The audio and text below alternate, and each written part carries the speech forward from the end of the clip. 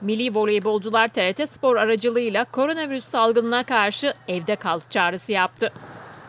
Amili Kadın Voleybol takımı oyuncularından Eda Erdem Dündar, Ebrar Karakurt ve Şeyma Ercan hijyen kurallarına uygun hareket edilmesi gerektiğini vurguladı.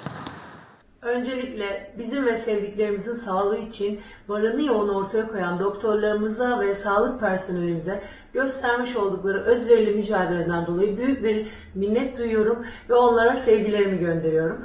Burada bize de bazı görevler düşüyor. Mecbur kalmadıkça evden dışarı çıkmayalım. Gereken tüm hijyen kurallarına uyalım. Sen de kendin ve sevdiklerin için evde kal. Herkese merhaba. Ülkede çok zor zamanlar geçiriyoruz. Ee, Bu zor zamanları geride bırakmak da bizim elimizde. Sağlık Bakanlığımızın bize uymamızı istediği kurallara uyalım. Etrafımızı bilinçlendirelim. Ve sevdiklerimizden, ailemizden başlayalım bu bilinçlendirmeye. Ee, Bizler için gerisini gündüzüne katarak çalışan sağlık personellerimize minnettarız. Onlara çok teşekkür ediyoruz. Bu dönemde bizim de üstümüze düşen bazı görevler var. E, gerekli hijyen kurallarına uymalı ve zorunda kalmadıkça evden dışarı çıkmamalıyız. Kendin ve sevdiklerin için evde kal Türkiye.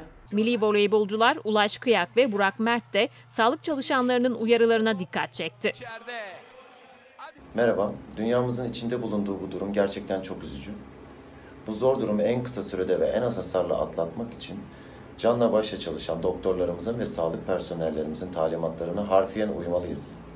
Bize düşen ise kendimizi, çevremizi ve ailemizi korumak adına sağlık ve hijyen kurallarına uymalıyız. Taşıyıcı olmamak için evde kalmalıyız. Bizlere düşen görev de önce kendimizi, sevdiklerimizi, etrafımızdakileri korumak için sağlıkçılarımızın ve devlet kurumlarının söylediklerine uymak, hijyenimize dikkat etmek ve gerekmedikçe sokağa çıkmamaktır.